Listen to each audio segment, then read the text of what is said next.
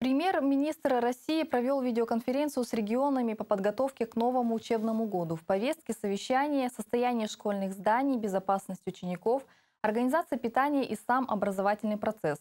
По словам Дмитрия Медведева, большинство школ России к новому учебному году готовы.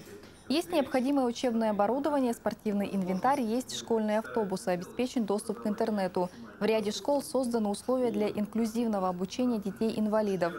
Закуплены все необходимые учебники, учебные пособия. Кстати, начиная с 1 сентября учебники должны быть уже и в бумажном, и в электронном виде, чтобы детям было удобно ими пользоваться, подчеркнул премьер.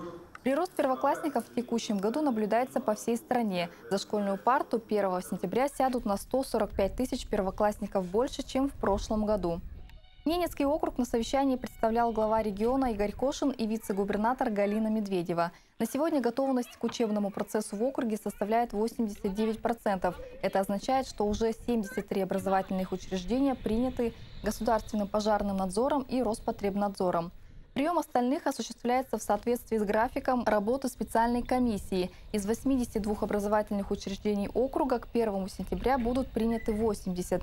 Два начальная школа и детский сад на острове Колгуев признаны аварийными. Несмотря на ремонт школы, учебный год для ребят начнется в срок.